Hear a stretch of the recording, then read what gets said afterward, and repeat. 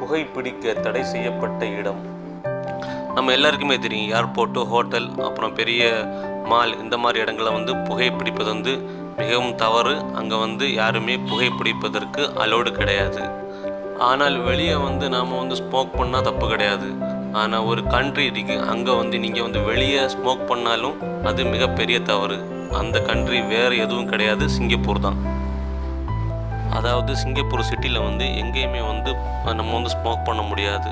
Out side or inside எங்கேயும் smoke பண்ண முடியாது.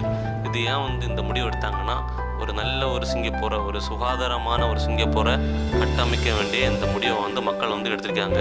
நம்ம வந்து ரோடு தெரு அப்புறம் எந்த பப்ளிக் இடத்துலையும் அவுட் சைட்லேயும் வந்து நம்ம வந்து ஸ்மோக் பண்ண முடியாது. உங்களுக்கு அதே மீறி ஸ்மோக் பண்ணோம்னா ஆங்காங்கே வந்து ஒரு நம்ம ஒரு மார்க் போட்டிருப்பாங்க. அந்த மார்க் உள்ளேருந்து நீங்கள் ஸ்மோக் பண்ணணும். அந்த இடத்துல மட்டும்தான் ஸ்மோக் பண்ண முடியும். வேறு எங்கேயுமே அந்த சிட்டியில் அதாவது த்ரீ கிலோமீட்டர்ஸுக்கு உள்ளே வந்து ஸ்மோக் பண்ணவே முடியாது.